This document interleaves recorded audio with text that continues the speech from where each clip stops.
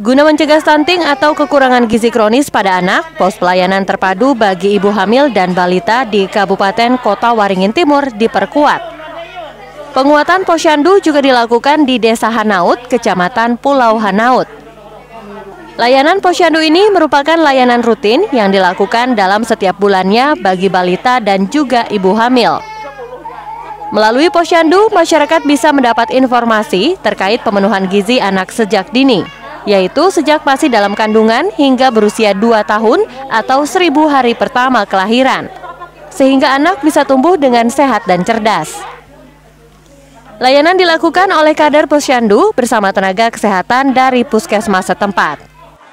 Di dalam pelayanan posyandu itu sendiri juga ada pemeriksaan ibu hamil, ibu nipas, juga Pak lah yang misalnya yang masih uh, bayi-bayinya pertama kali dibawa turun ke posyandu untuk mendapatkan pelayanan imunisasi juga.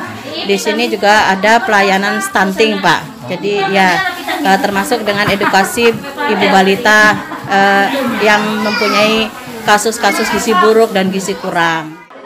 Stunting merupakan kondisi anak yang mengalami gagal tumbuh akibat tidak mendapatkan kecukupan gizi. Salah satu penyebab stunting di masyarakat desa adalah masih tingginya pernikahan anak di bawah umur. Ririn Binti dan Masud Badarudin melaporkan dari Kabupaten Kota Waringin Timur.